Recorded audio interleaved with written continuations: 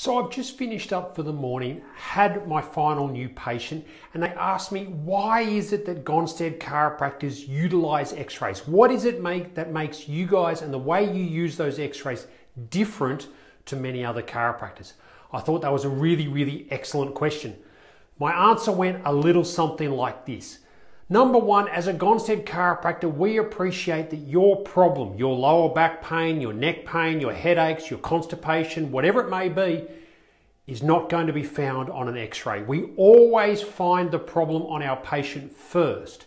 We then use the x ray for a few different reasons. Number one is it helps us understand how is best to go about correcting the problem from an angles perspective.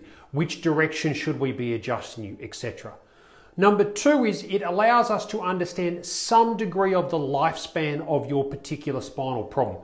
We can see by other areas of your spine how any degenerative processes may have occurred or changes in things such as your spinal curves and postures.